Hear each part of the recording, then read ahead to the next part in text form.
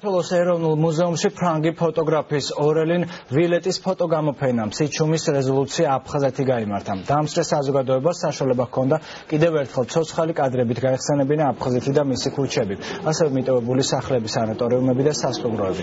ფრანგი ხელოვანი საქართველოში 2016 წელს ჩამოვიდა. გამოფენა 7 ოქტომბრის შაბათით გაგრძელდება.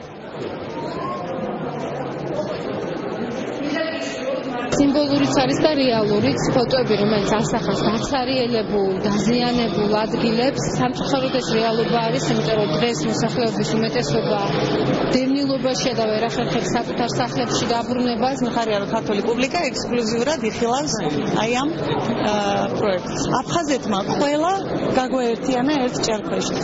ღმერთმა ქნას რომ სიმბოლურად ეს ასეც მოხდეს მომავალში ფიქრობ ჩვენ ყველას გვაქვს ვალდებულება რომ ყოველთვის გვახსოვდეს ისინი, ვინც ბრძოლის ველზე დაეცნენ და ასევე ის ადამიანები, რომლებმაც ამ ტრაგიკული დღის შემდეგ სახლკარი დაკარგეს. დრამატული თეატრის მსახიობების მიერ ძალიან ემოციური შესრულება ვიხილეთ. მათ ის წევდა გამოხატეს, რომელიც მას შემდეგ აქვთ, რაც ქართველებმა აფხაზეთი დაკარგეს.